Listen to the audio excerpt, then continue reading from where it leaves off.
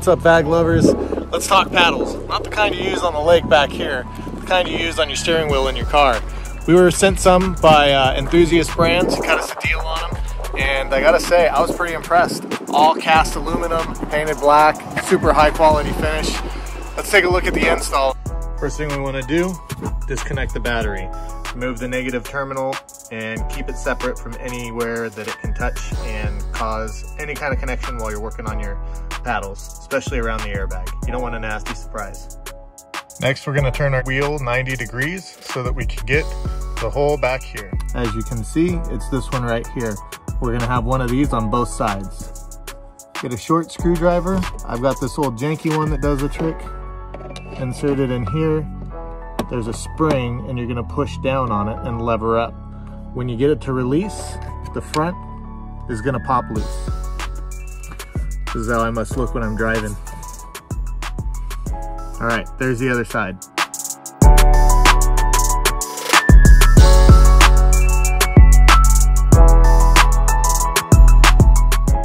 All right, once you get the airbag popped loose, you're gonna see this yellow clip in the back and there is a green part right on top there. That needs to be pulled out towards you. Okay, pulled out like that. And then you're gonna pinch the green part and the yellow part and pull the clip out. As you can see, pulling up on here releases the little uh, clicking mechanism. All right, so removing this clip is fairly straightforward. Get a small screwdriver or pick or something you're gonna get it right under there, uh, right under that little plastic bit. Be gentle, but lift it up and it'll pop right out. Me see if I can show you.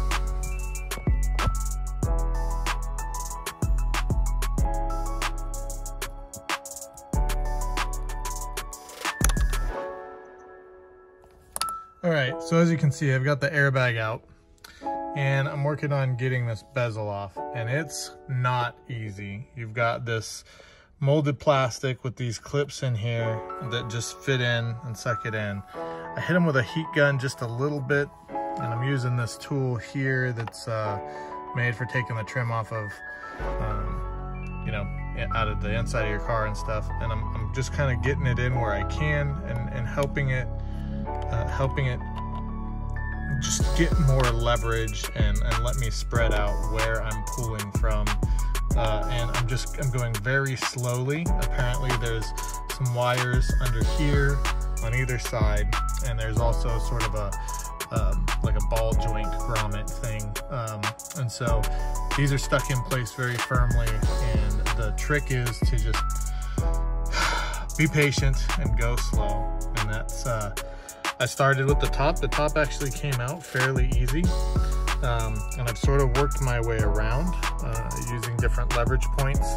All I can say is be patient uh, and, you know, do your best not to break anything here.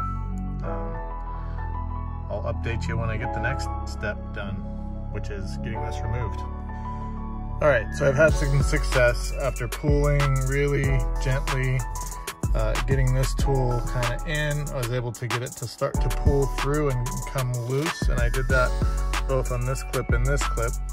And I moved to the bottom where using this end uh, to get in and very gently pry, pry this bezel up here helped me get this middle one out. Now it seems everything's loose and I've just got the two um, ball joint style clips underneath each one of the control panels that I'll very, very gently move up. All right, so I finally got this bezel off and honestly, it was a pain and just had to be really patient. Uh, I used this kind of end very carefully to pry this off around um, and pulling on this point.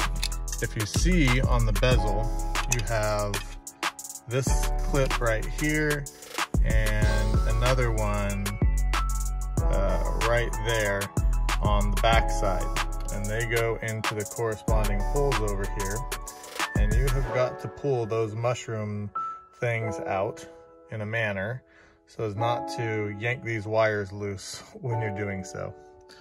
Um, so helping see where those locations are when you're pulling uh, and where they seat helps. There's one right there. Uh, there's one right there.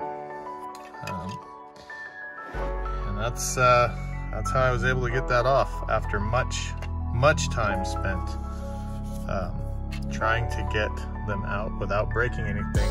I've been successful. And next, we just remove the bolt here and the bolt here, and that should allow the modules to uh, come out. They're attached to these tiny wires here. All right, so bolts out. We get this little wire here out from behind this wire keeper. All right, bolts removed. You get the wire out from the wire keeper. And should just be able to pull the paddle shifter right out the back. All right, next, paddle shifter's out. We're gonna remove this pin right here. Uh, I've just got a tiny little screwdriver um, bit that I use to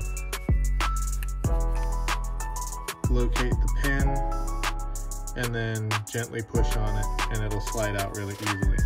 Don't lose them. We're gonna take this module and pop it into the new.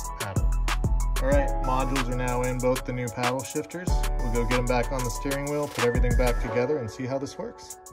All right, so when putting these back in, this little hook right here, you wanna aim to get that in first. So you're gonna pull on this back side to get it out and you're gonna go in reverse of that. So you get that hook in around and you push the back in and it clicks in place nicely. Then we'll reroute the wire here, back under this keeper, and do the same to the other side. So as you can see, you've got this hook piece here.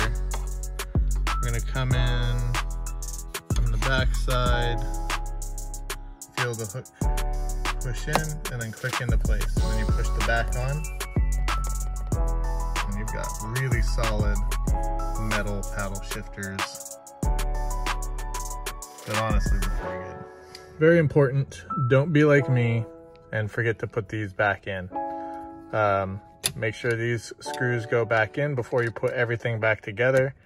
Uh, I was feeling how cool the paddle shifters were and it dawned on me there's a little extra play in there because I forgot. So I had to go through the whole process again. Luckily this time, uh, just through the course of working with it, I figured out how to do everything and where everything was, it didn't take me quite so long. All right, when you're done, you connect all the wires. Uh, you're just gonna push everything back together. Um, make sure all your wires are routed the way they were supposed to be for, for instance, this little guy goes right in that notch. There's a little channel for this. Just make sure it's all routed back the same and you don't have any issues there. Then you can push the bezel back in place. Okay, once you get the main ring back in, push all the way around it, just get it seated. You'll need to push this part back down all the way in and then on the side as well until you hear them pop.